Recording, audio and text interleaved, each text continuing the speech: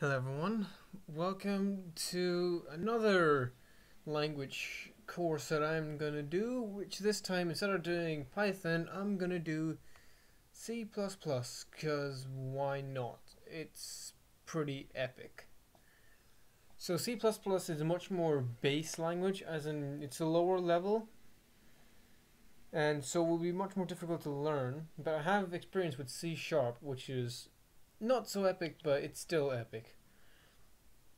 Um, so the C++ language is very powerful apparently, and uh, it can do a lot of stuff. So let's just learn all this stuff, shall we? It'll prove pretty cool.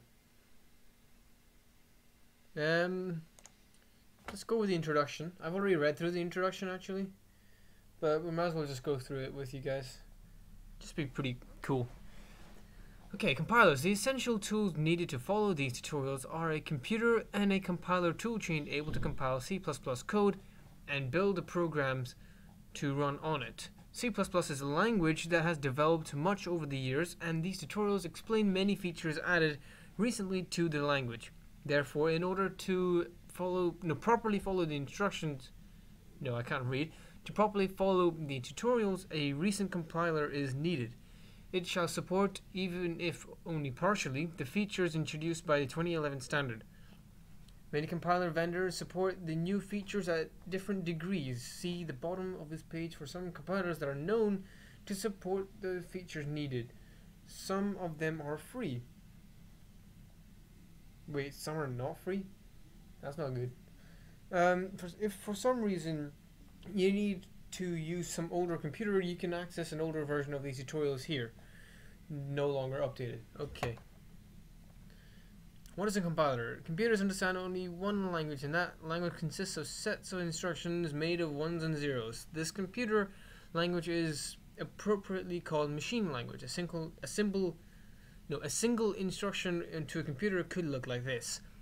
So memory location zero and binary, I don't know what that is, but it holds a bit of data, but whatever. Um, or instruction.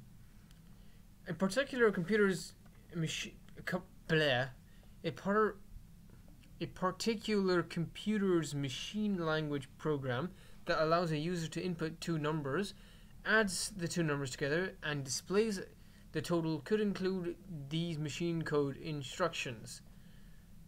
I'm not going to be able to understand this. As you can imagine, programming a computer directly in machine language using only ones and zeros is very tedious and error prone. To make programming easier, high-level languages have been developed. High-level programs also make it easier for programmers to inspect and understand each other's programs easier. This is a portion of code written in C++ that accomplishes the, the accomplishes the exact same code, or exact same purpose.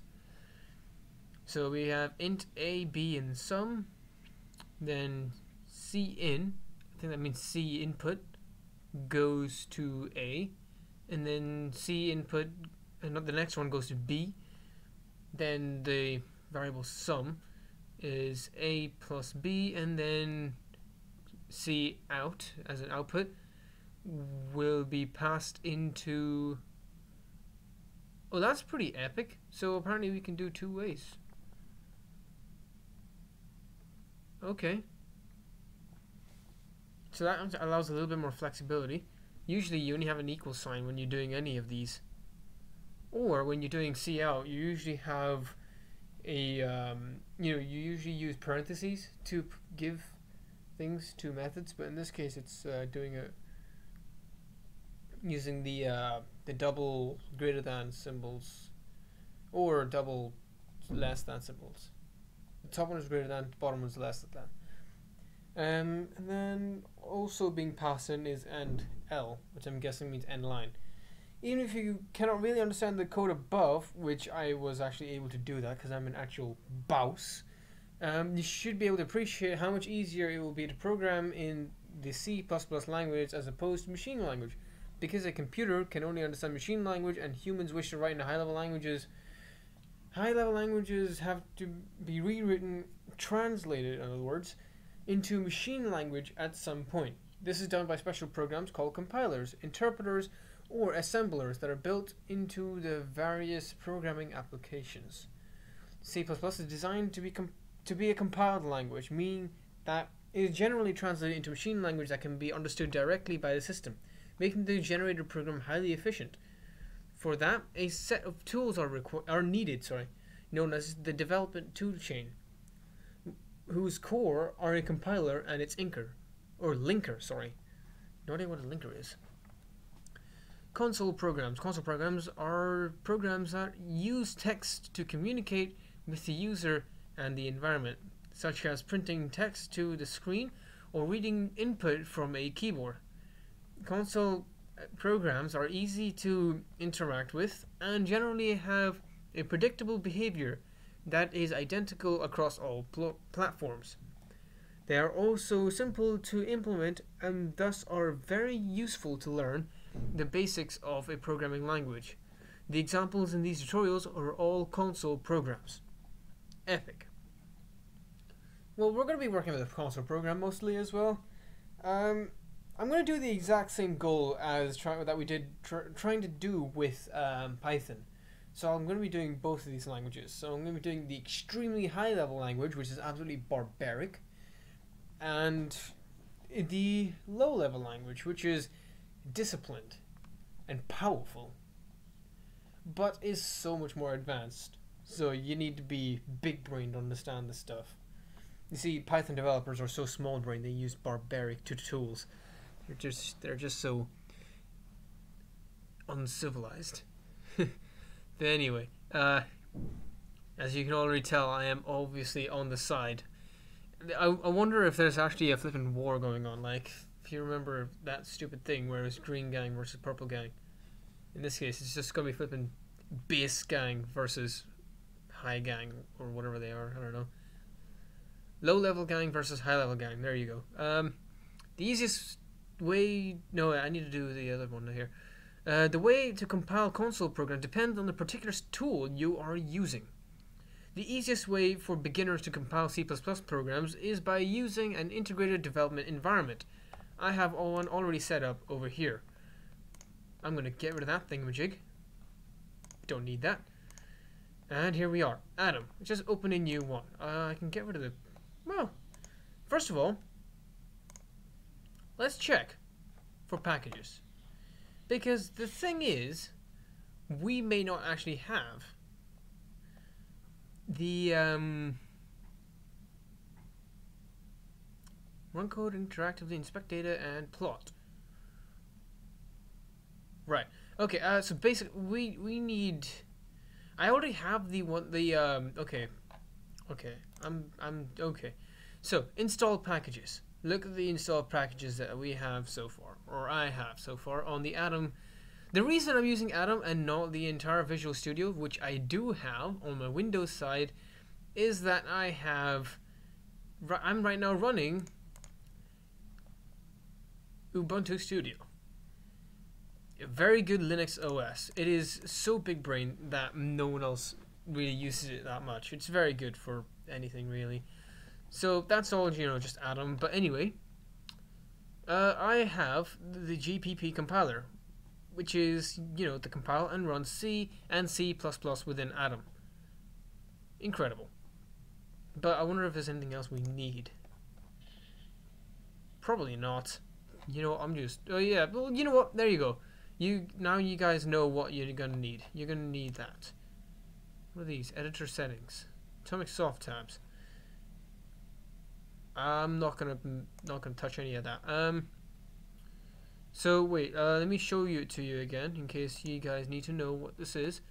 So it is GPP hyphen compiler, version 3.07. That's the one I have. It's the most downloaded compiler by kriscross07. Crisscross 07, you are epic. Anyway, um, next. Oh yeah, by the way, the actual thing I'm making right now, it's um, what we're gonna use is, well, sorry, we're gonna make a text-based, turn-based RPG. So we're gonna be making a turn-based fight game-ish and then maybe we can incorporate very advanced mechanics. Uh, you know what? Go ahead and put in the comment section What kind of mechanics would be epic for this game? Even put it for the Python as well, the Python one. We'll we'll do them both. We'll do it for both. Maybe that will make things really really good. Anyway, uh, here you have instructions on how to compile and run console programs using different free integrated development interfaces. That's inter its environment. But anyway, IDEs. Um, Code::Blocks. These are IDEs. These are proper IDEs. Visual Studio Express. Uh, yeah, um, these are proper IDEs. What I have is quite frankly just a text editor which can be slightly bumped up. So right now, I actually, um, I mean, I have a more powerful OS, but the editor is not so powerful. However, in Windows, the OS is weak. Anyway, um, so you can just have a look at that if you want on your own time. The best way, or you can just pause the, the uh, the video, sorry. Um, the best way to learn a programming language is by writing program. Typically, the first program beginners write is a program called Hello World, which simply prints Hello World to your computer screen. Although it is very simple, it contains all the fundamental components of C++ programs have. Okay, uh, so we have just a comment here. That's pretty normal. As you can see, we're using two forward slashes, not the hashtag that is used in Python because we are civilized gentlemen or gentle or, or ladies, sorry, uh, gentlemen or ladies who prefer to be actual uh, disciplined programmers. This is just, you know, including streams. That's that's fine. That we're, we're allowed to use hashtags for other purposes except for comments. Um, the left panel shows C++ pro, no, C++ code for this program. The right panel shows the result when the program is executed by a computer. The gray numbers to the left of the panels are line numbers to make discussing programs and researching errors easier. They are not part of the program. Epic. Um, well, obviously, because we have them here as well. See? One. Um, line one. My first C++ my, my first program is C++. Two slashes indicate the rest of the line is co a comment inserted by the programmer, which but which has no effect on the behavior of the program. Programmers use them to include short explanations or observations concerning the code or program. In this case, it is a brief introductory description of the program. Epic.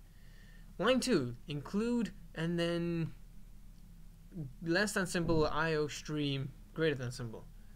Uh, lines beginning with a hash sign are um, directives read and interpreted by what is known as a preprocessor, EPIC. They are special lines interpreted before the compilation. Did I say that right? Compilation? Compilation? I don't know. Um, before the compilation of the program itself begins. In this case, the directive um, hash include um, IO stream instructs the preprocessor to include a section of standard C++ code known as header IO stream that allows to perform standard input and output operations such as writing the output to of, writing the output of this program to the screen. Right, we're going to be using include IO stream a lot. I mean, we're going to be using only once, but like, you know, we're going to be accessing it quite a lot. Um, a blank line, yeah, it's, it's normal. It's just blank lines have no effect on the program. They simply improve the readability of the code. Don't be afraid of using blank lines. Use them. They make things so good. Make them like really good. Okay, I just looked ahead and I just saw friendship and inheritance. I understand inheritance, but what's friendship? Eh, okay. Okay. Uh, line 4. int main. This line initiates the declaration of a function. Um, why is it int main? What? Why? Uh, uh, but it's not returning. Okay, maybe C sharp C sharp works different. Yeah. Even in Java, that's weird. What is this? Okay, the reason I'm saying this is because for you well-bred programmers out there, you probably know that functions work like this. For example, in C sharp, we do this. So imagine, um, okay, imagine this is just a class. So let's just using uh, system, and that's pretty much all we need. And then let's make let's, let's do it. We'll declare a class in C sharp. So class, uh, let's just call this base, or actually no, we'll place player. We'll call this player. Okay. We're gonna open some code blocks. I'm gonna beautify, please. If it will work. I think I crashed it. Did I crash it? No, I didn't. Okay. Thank God. Okay, that's weird. Why won't you let me? Okay, I'm gonna. Oh, it's fine. It's fine. Indent it.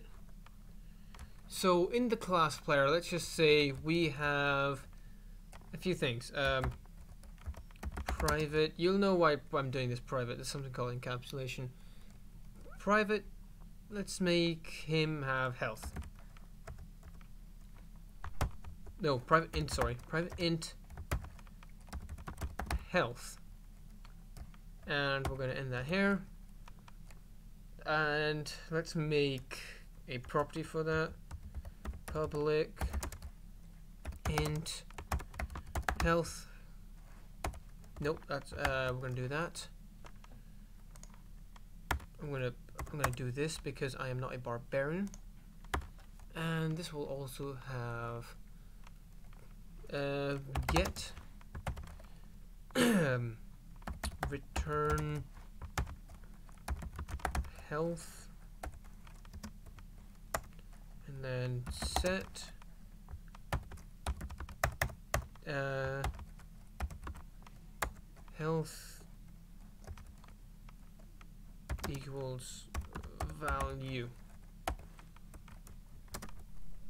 Okay so now we have a property for it let's make a method let's make any method. Let's say uh, heal. so we'll make a public um, void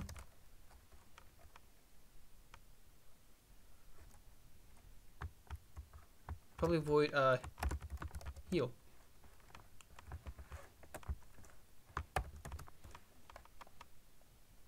Can I please uh, enter? There we go. Enter you as well.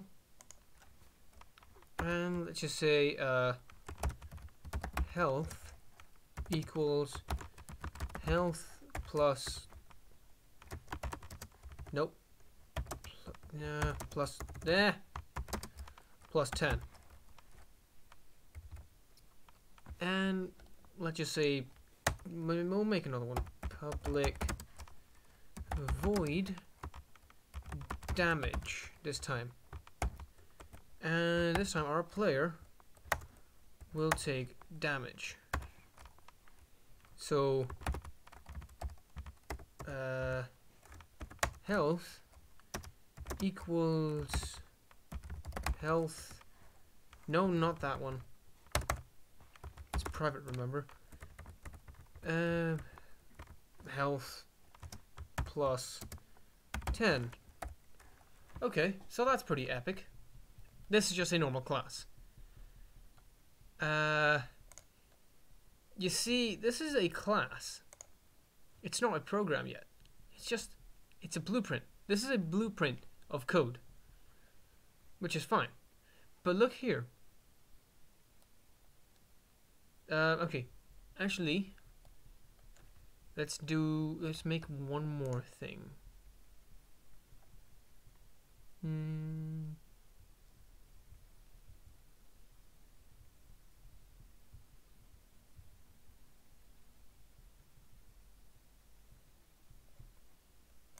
Okay, let's let's do this.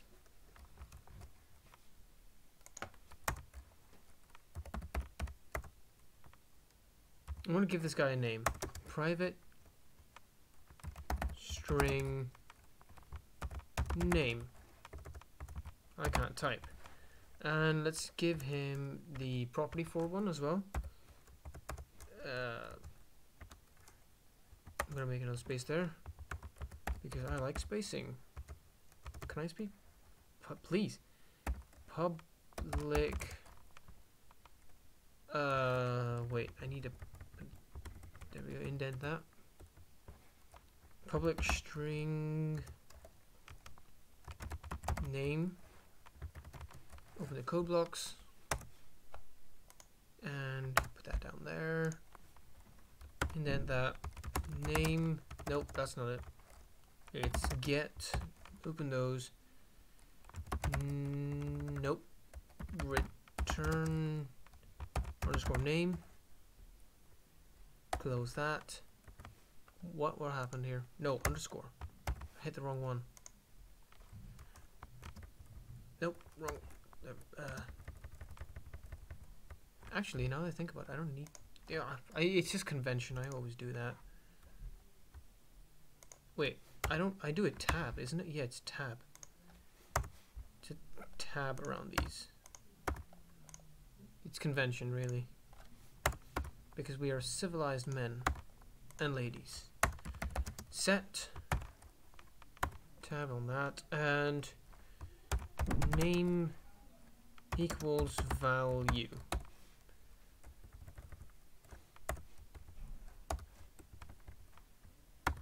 Okay, what you've just seen right now is me going on an absolute rampage on coding or programming. Okay, I know. This looks like a lot to take in. Bear with me. I'll explain this all to you. Okay? I will I will be your tutorial. First of all, let's look at this. Um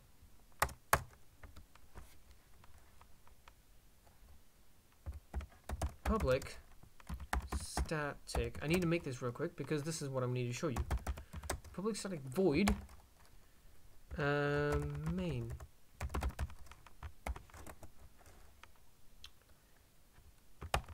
Open code blocks. And here we are.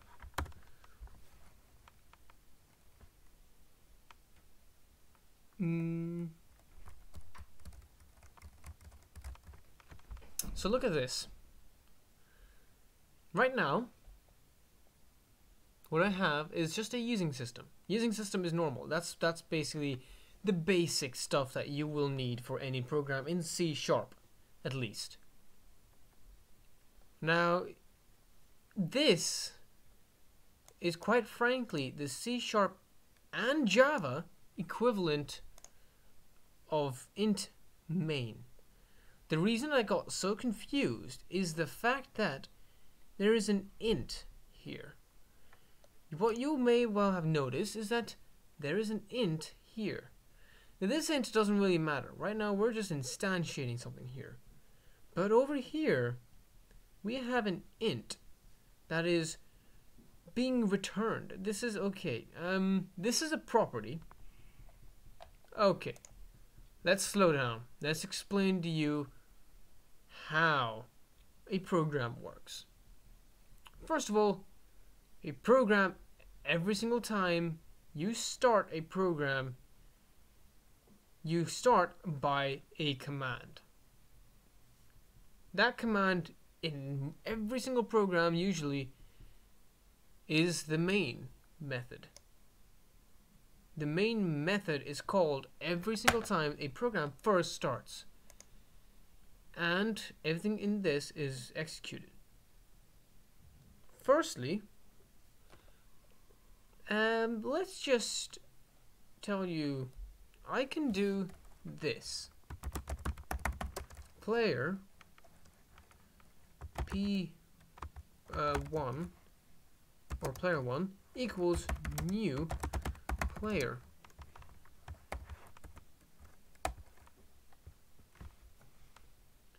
Now the epic thing about this is that you may have noticed that player is being recognized. How is it being recognized? It's being recognized because there's a class called player. Now you see, this is something about object-oriented programming. Let's slow down even more, shall we? Whenever you're making any program, you type in what stuff is. You can you can you can make things like int. Int means integer, integer value. So you can make a variable. A variable is basically a bit in memory. So your computer has RAM. RAM is it's memory. That's it. That's it. It really is. If you know the way, whenever I okay, imagine this. I'm gonna ask you right now to remember the number six. Now, in another place, remember the number four. Add those two numbers together. Now, give me what those two numbers are. No, what the um, sum is, sorry. The, the, the, no, the two numbers that you just added together, give me the result of it. Now, that equivalent is quite frankly just this.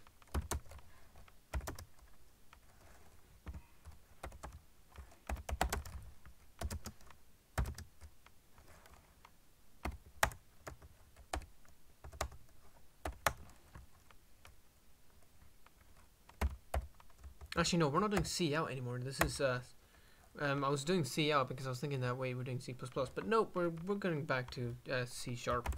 So it's con console dot write line.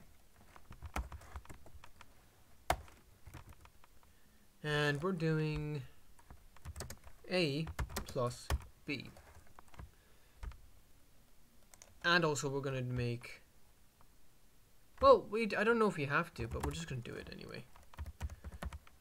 Uh, convert dot to string open that. There we go. Nope that didn't work. There there we go. So what you've just seen is an absolute absurdity. I know. Bear with me. So I've just giving you the task of you know remembering two numbers well the way a computer remembers anything is via RAM RAM is almost like a library. It's a library that changes every single day depending on what you're doing. No, not even every single day. Every single millisecond, that library is being moved around with books being thrown here and there, all of them having some kind of information, like having any information, mainly in binary code. So the thing is, your brain works in a similar way. It's quite frankly a library Except in this case, a computer, while while your brain, your brain uses synapses and etc. It uses a combination of neurons. Every single combination of neurons represents a certain memory. In this case, instead of having combinations of neurons, it's actually a combination of switchboards. A combination of switchboards sounds weird, but imagine this.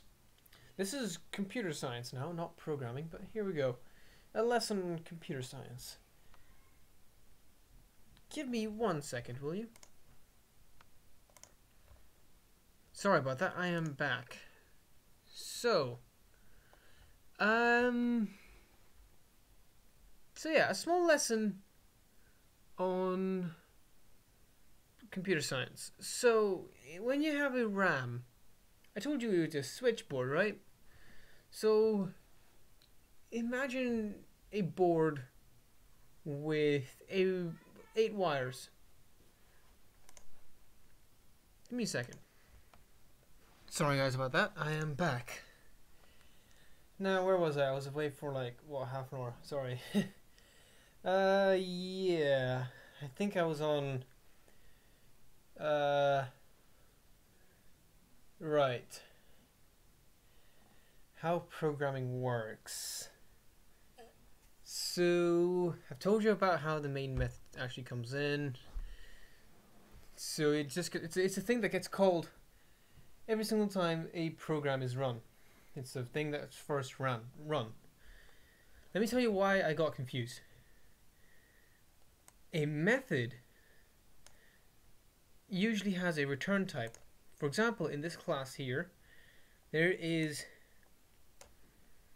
this, which is a property, but it means that it handles the type int. This is a method.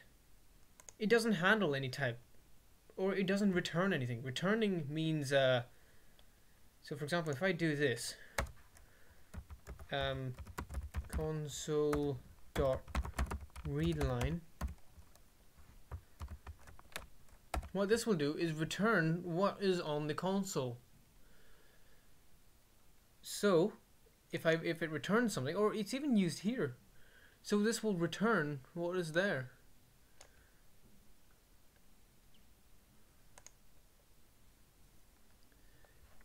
wait can I compile how do I compile things Eh.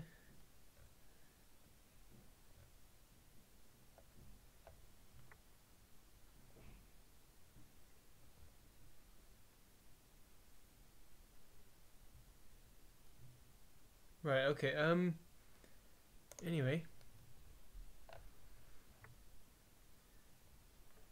So yeah, um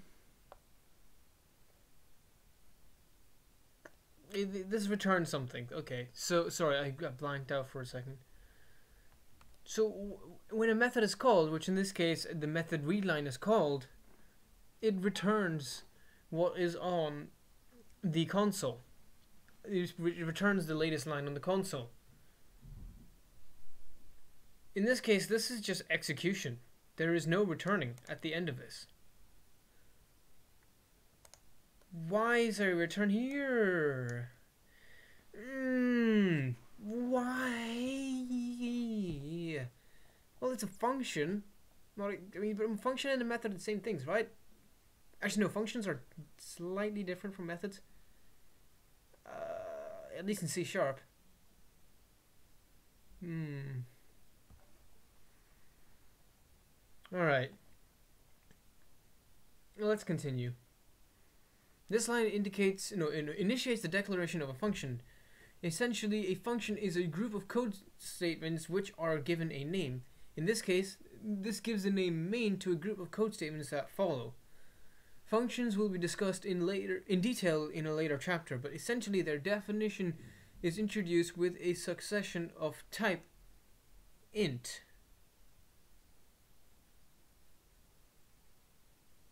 What?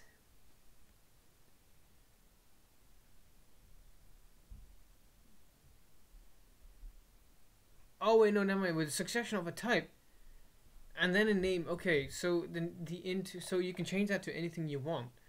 But why is the main int? Um, I don't know. Why can't you make it void? Wouldn't void work better? Unless void doesn't exist in C++. I don't know. Uh. Okay, next. The function named main is a special function in all C++ programs. It is a function called when the program is run. The execution of all C++ programs begin with the main function, regardless of where the function is actually located within the code. Okay, um, lines 5 and 7. 5 and 7. B. Wait, where's 5 and 7? Yeah, 5 and 7. Um, the open brace at line 5 indicates the beginning of the method's main function definition, and the closing brace at line 7 indicates its end. Everything between these braces is the function's body that defines what happens when the main is called. All functions use braces to indicate the beginning and end of their definitions. And the std out. This is this line is a C++ statement. A statement is an expression that can actually produce some effect. It is the meat of the program specifying its actual behavior. Statements are executed in the same order that they appear within a function's body. The statement has three parts. First, std um, Scheiße. Or crap. Uh, I just realized what I just said. And I do not like it. Yeah.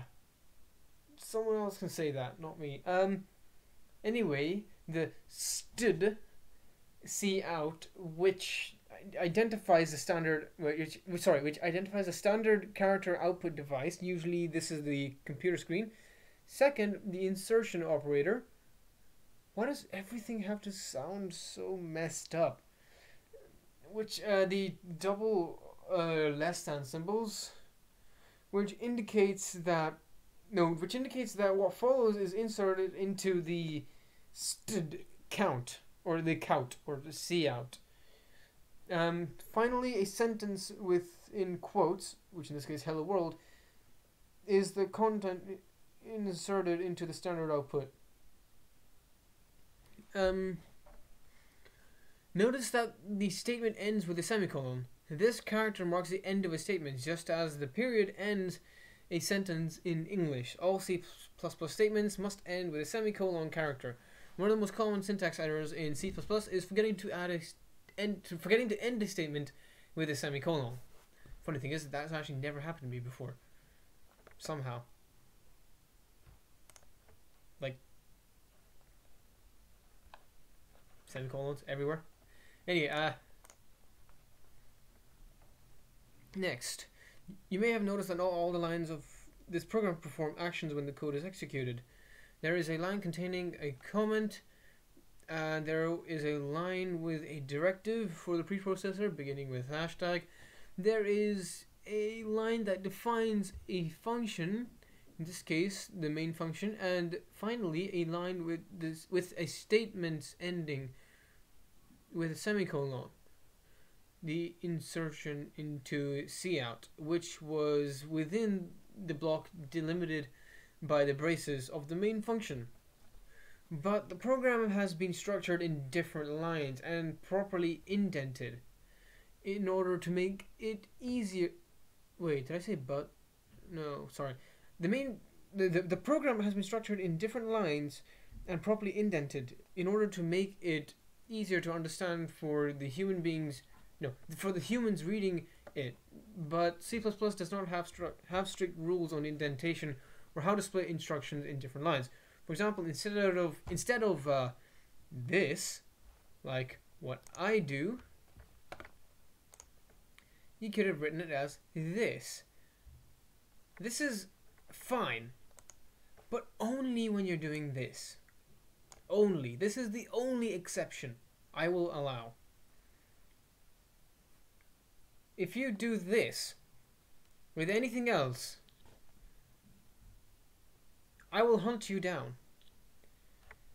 Anyway, uh, well, obviously I'm not going to hunt you down, but I will despise you. But um, so we could have written that all in a single line, and this would have had exactly the same meaning as the preceding code. In C++, the separation between statements is specified with an ending semicolon, with the separation into different lines not mattering at all for this purpose. Many statements can be written in a single line, or each statement can have a each statement could have a line, or be in a line in, of its own.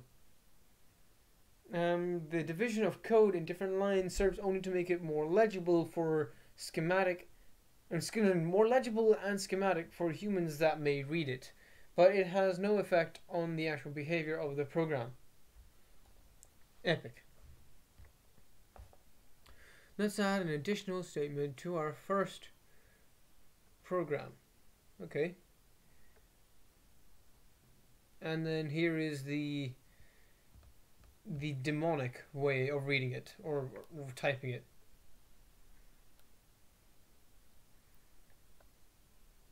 Uh, I'm just gonna skip that. Uh, source code could have also been divided into more code lines instead. um, this is slightly less demonic because I still understand what you mean, but mm, it's not epic. It's it's not it's not epic. But you know what? There will be situations where this may actually be slightly, just ever so slightly acceptable. Where this may actually feel a little bit better.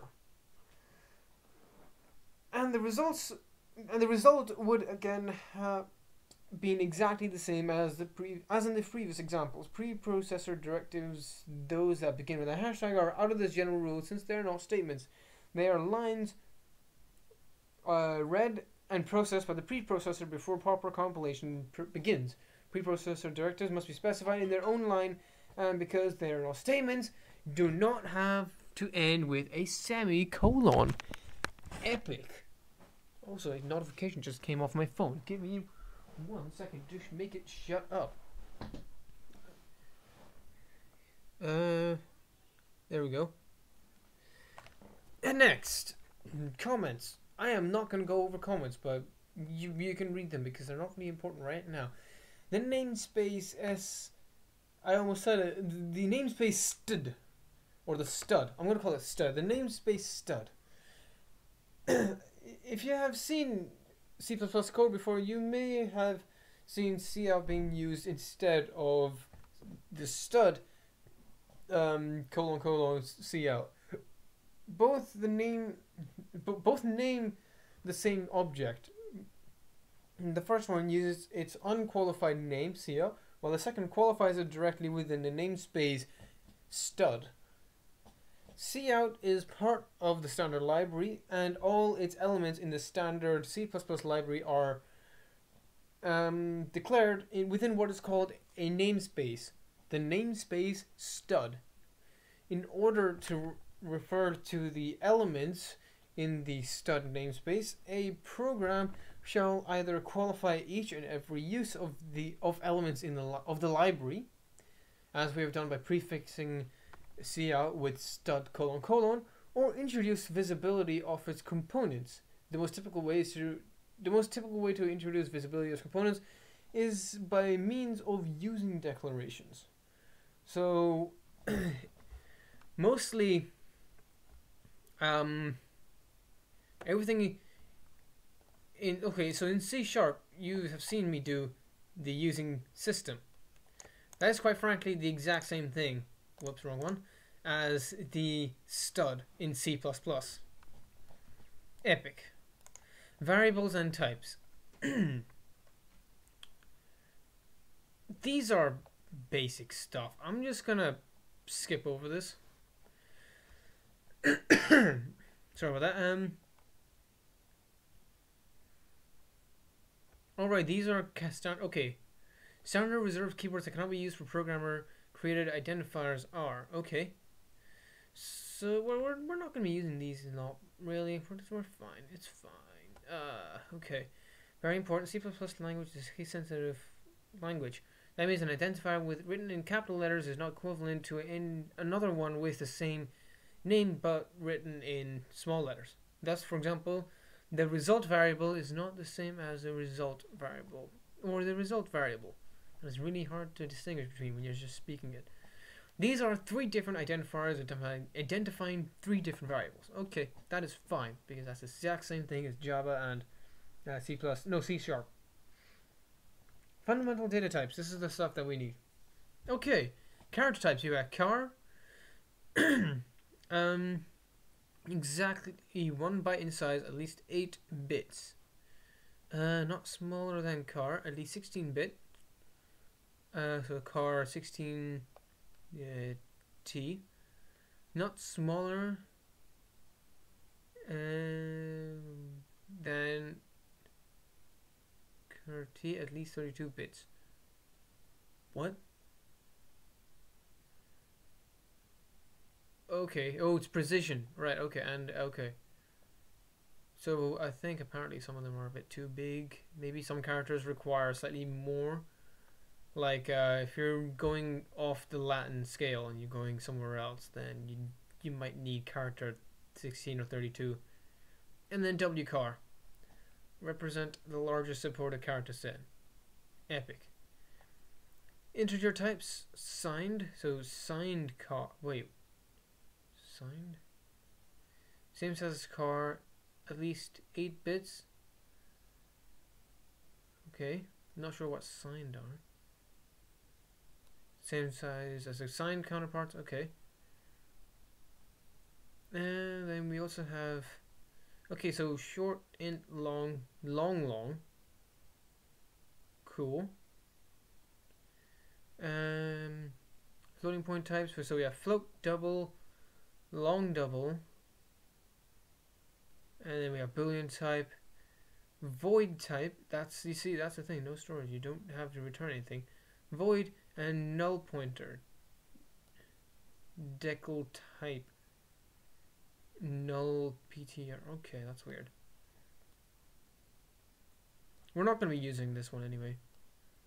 The names of certain integer types can be abbreviated without their signed and int component. Only the part not in italics is required to specify the type. Okay. Um, the part in italics is optional. A signed short int can be abbreviated as signed short uh, short int um, or simply short. They all identify the same fundamental type. Epic. Within each of the groups above, the difference between types is only their size, i.e. how much they occupy memory. The first type uh, in each group is the smallest, with the last type, and the last type is the largest, with each type being as least at, as large as the one predecessing it in the same group. Other than that, the types in the in a group have the same properties.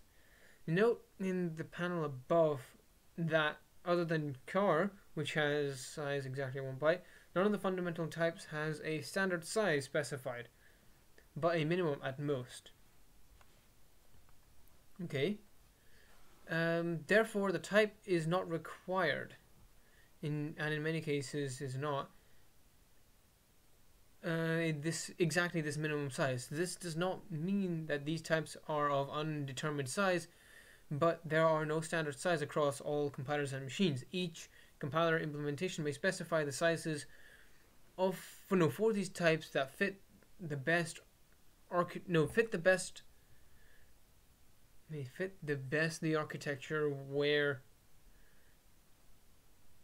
uh okay that's a bit weird fit the best the architecture where the program is going to run okay anyway this rather generic size specification for types gives C++ language a lot of flexibility to be adapted to work optimally in all kinds of platforms, both both present and future. This size, no, this type sizes above are expressed in bits.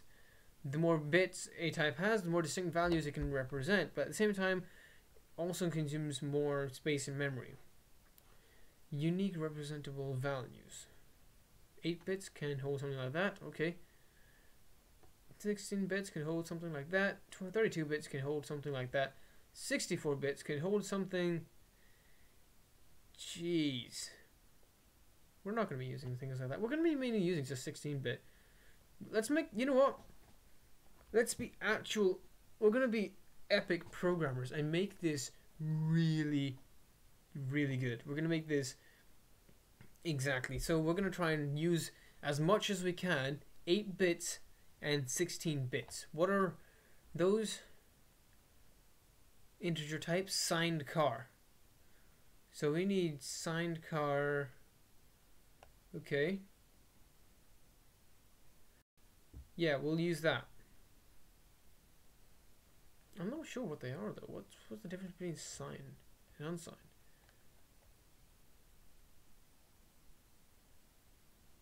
Right. I'm gonna real quick check. Difference between signed and unsigned int. Uh, unsigned int and wait, an, an unsigned is an integer that can that cannot be negative and thus has higher range of positive values that it can assume. Sign. Oh, right. How did I not see this? I'm an idiot. okay. Well, that's that's epic.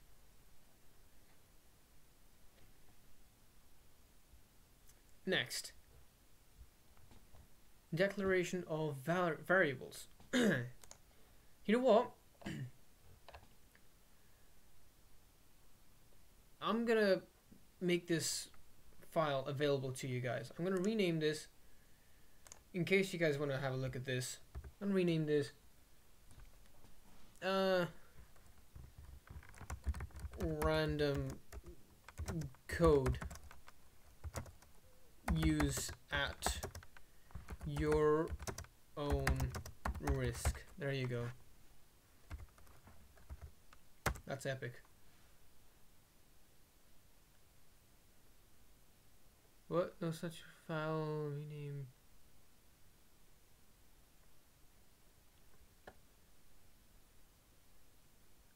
I don't get it. What's wrong? Oh right, am I not supposed to use those? What?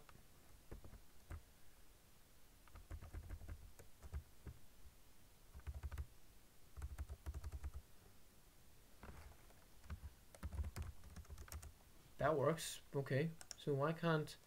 I okay, can rename again. Random code.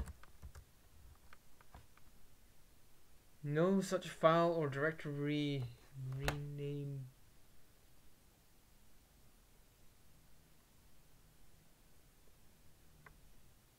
Why can't you do that? It's because I'm using capitals. Okay, now that just kind of sucks.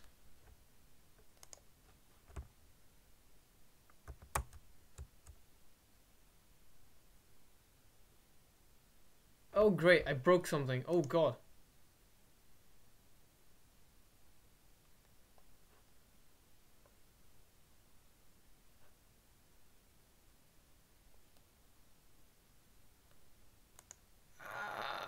I broke something. It's it's fine.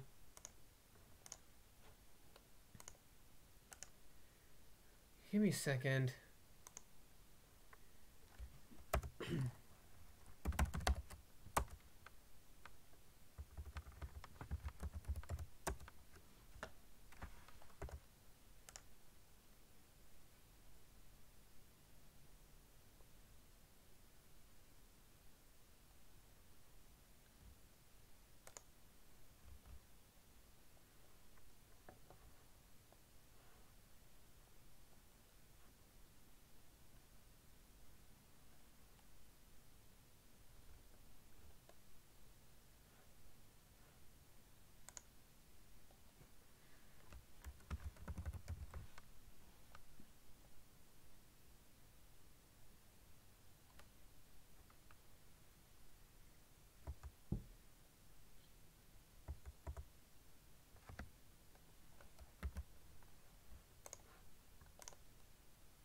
Wait, did I not even save it?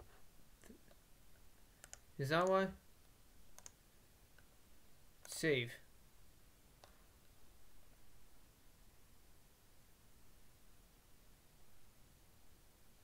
Cancel. Okay, hang on.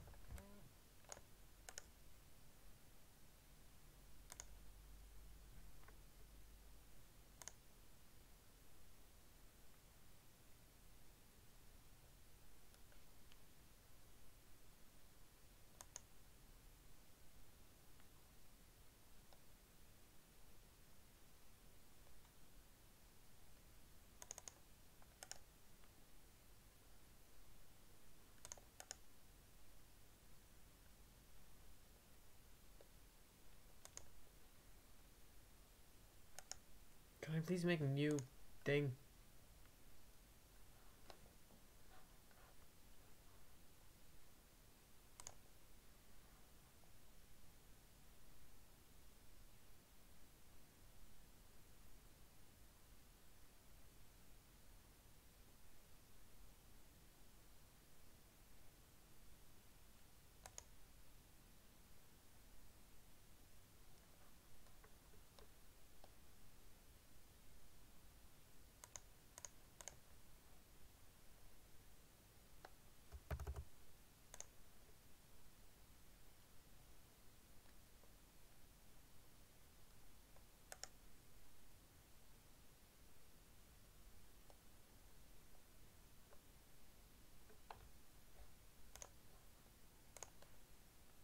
Okay, I got it to work again. Okay, here we go. Just gonna save that there.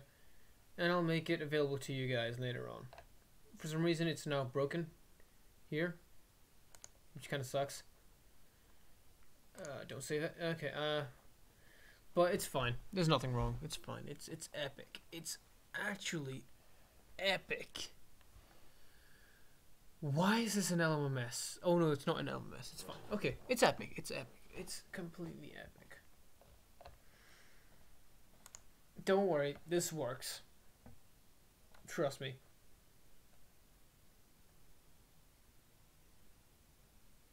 Okay, so next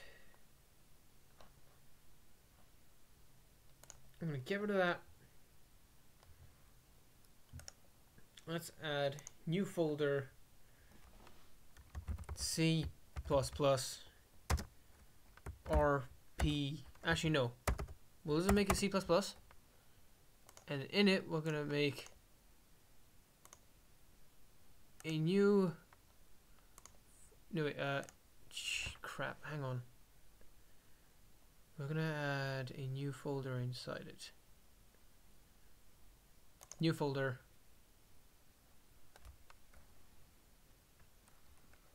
Uh...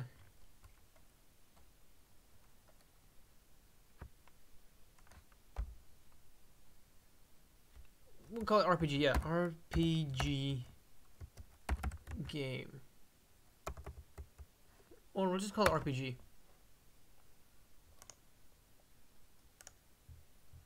We'll make that as a project folder.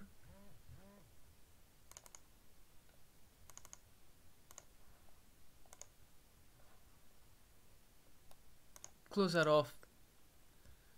And we will get rid of this. Remove project folder. Now we have a project folder. Let's do this.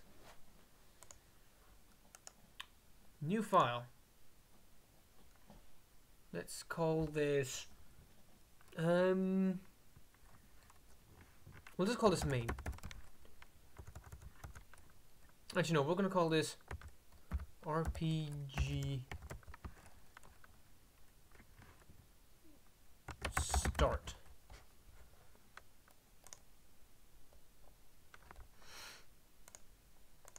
Uh, why is it not opening? Is it being made in the back? Did I, or did I just hit cancel like an actual idiot? RPG. Wait, yeah, I'm an idiot. I think I added it here.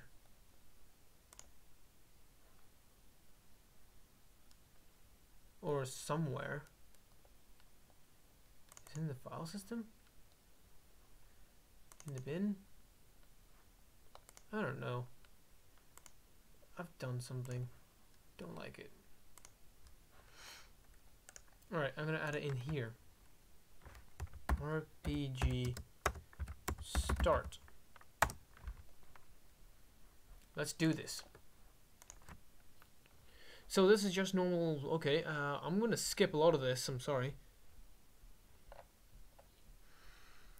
To see what variable declarations look like in action within a program, let's have a look at the entire C++ code of the example about your mental memory proposed at the beginning of this chapter. So that's just normal adding up. Yeah, that's fine. It's easy enough.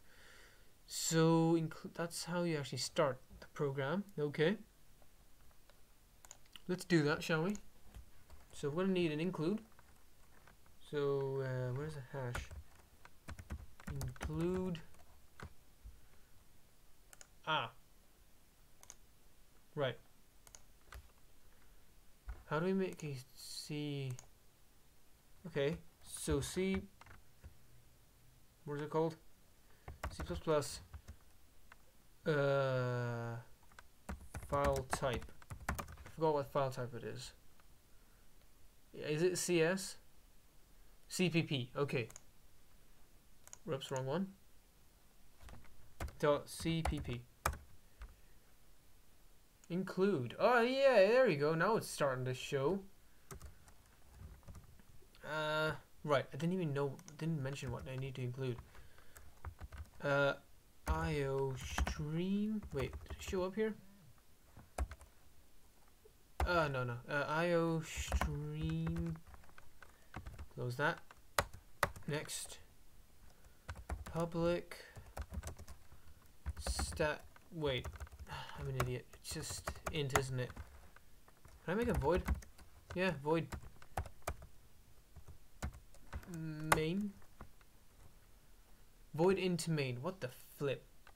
Okay. Uh, I'm gonna leave that. Also, that is demonic. Thank you.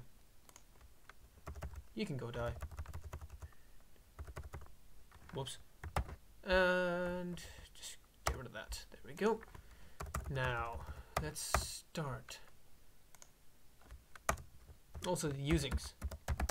We're going to be using the, um, what was it again? The, uh, the std.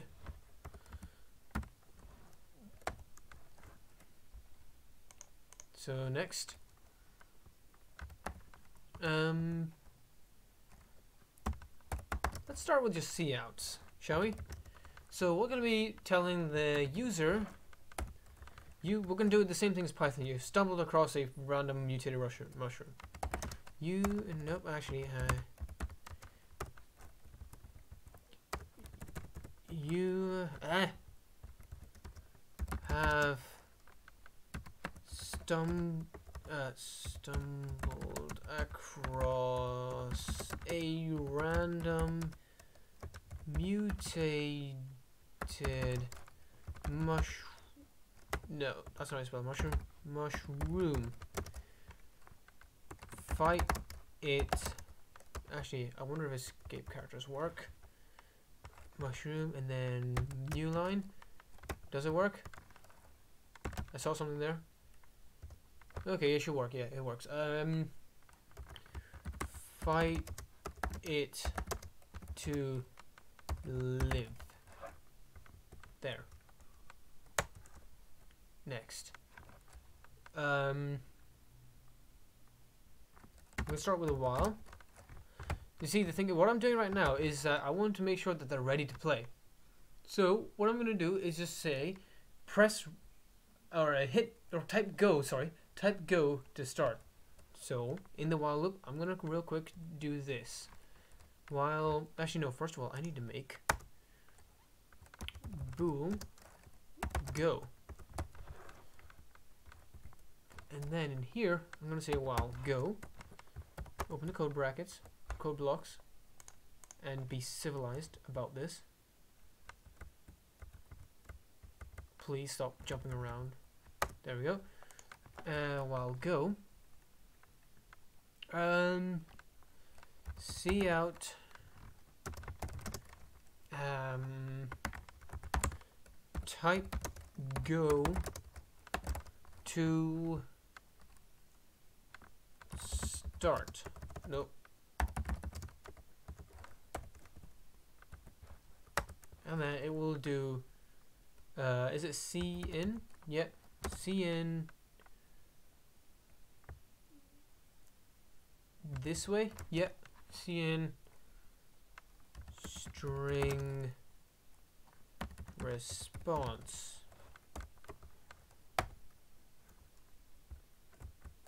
Next, um, if and here response equals go or response equals go in case they want to do uppercase as well then we are going to do go equals false. I forgot. The semicolon. Looks like this is the first time I've actually done that. That should work as a normal thing right? Okay let's compile this real quick. Let's just let's just compile and debug. Could not be spawned. Is it installed on your system? Oh something happened. Could not be spawned. Is it installed on your path? If so please open an issue on the package spawning the process. What happened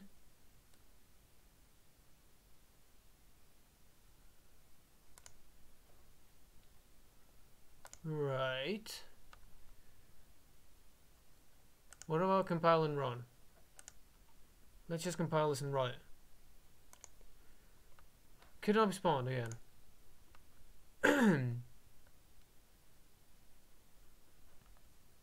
right, so the plugin kind of sucks, but it's fine. Uh, this thing is whole is actually I think I can just run. Okay, hang on. Uh, running no compiling See, the Linux operating system is built on C++. So, I think this should be a compiler.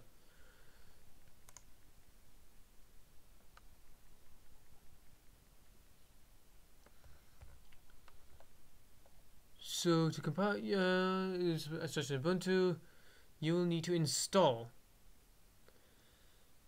Huh. I need to install a compiler. Right.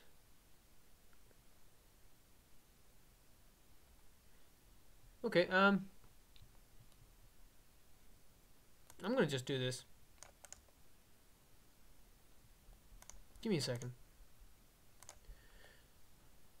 Right, so I found out that I already have it installed. I checked the verify installation. Looks like I actually don't need this. So how do we actually compile it? Use any one of the following syntax to compile the program. CC program, okay. Or GCC. Or excuse uh, exist, make. Okay.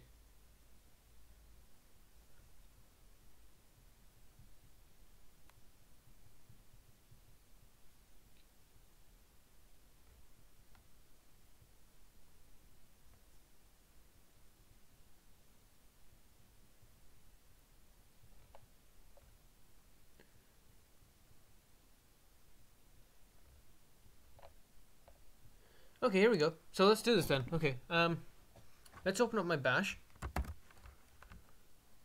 Wrong one.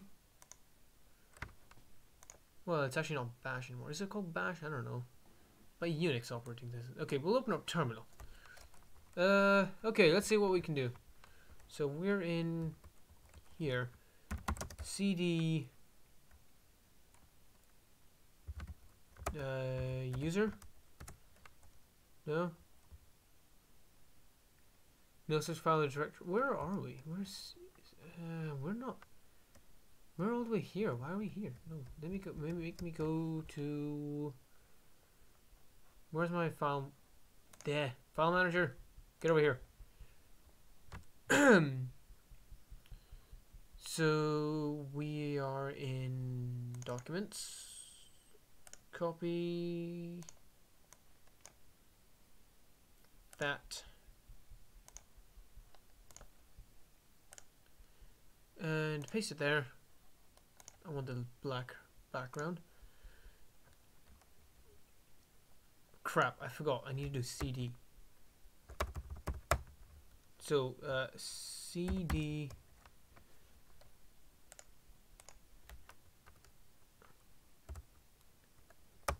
here we are. Now we're in documents. Um, cd c plus plus CD RPG. Nope. And now we need to go and compile that thing. So, sorry, is it GPP or GCC? GCC or CC. So we'll just do CC. CC RPG start. No such file or director. Okay. No such file or directory. Okay, I think I didn't save it. That's why. Save. Oh right, I didn't press uh, cp dot cpp. I'm an idiot. so cc rpg. Nope. Start dot cpp. And can I execute C plus? No, C C plus. okay, we can do G C C or PG.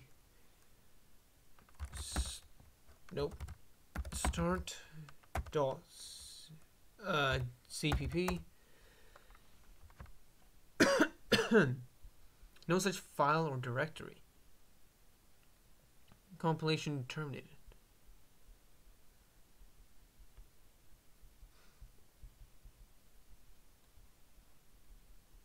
Why does it not want to run it?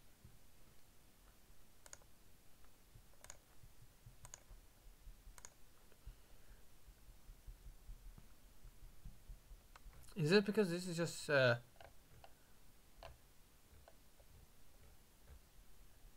right? Oh, right. This, that's just C. This is C++ plus now. Idiot.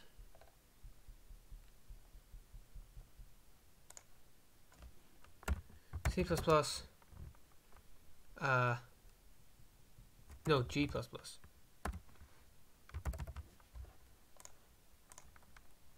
G++ plus RPG. no, Start dot cpp command not found but can be installed I don't need to install another command I already have one I can we'll just use make make rpg start dot cpp Bro. Fine.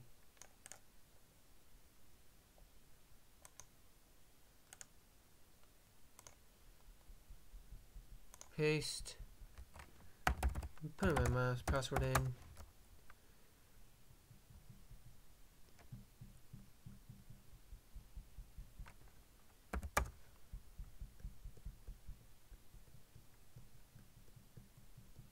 Yes, by the way, this is how Linux works, boys. This is the next generation of computers. This is the best OS in the world. With the iOS just leading, they're just trailing behind. Sorry, they're not leading, they're just trailing behind. Just. The reason being is that they only have iOS and macOS. Over here, not only in Linux, do you have your Debian and stuff, you have flavors. I have the Ubuntu Studio, a flavor of the Debian Ubuntu. Of course, Debian also has other things. I think Kali is one of them as well, which is pretty epic. Okay, this is done. Uh, uh what is it again? G plus plus. This is like been spending so long on this. This better be a good video. CPP uh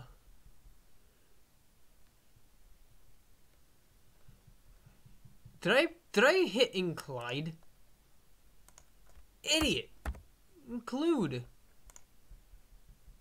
Sorry. Let's try that again. I'm copying and pasting because I can't be bothered to do that again and again and again. because I am an incapable man. Something else broke. Oh right, I didn't save it. So, uh, save. What else broke exactly? Two or more data types and declaration of main. Void int. Ah. I'll get rid of that.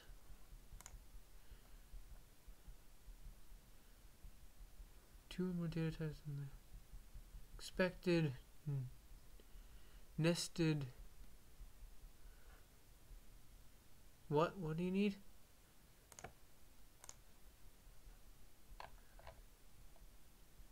oh we're using namespace. Right. I'll fix that real quick. Using name nope. Space that. There we go. We're learning. We're learning. All right. Eight eight. We're learning. This is a long video. I'm gonna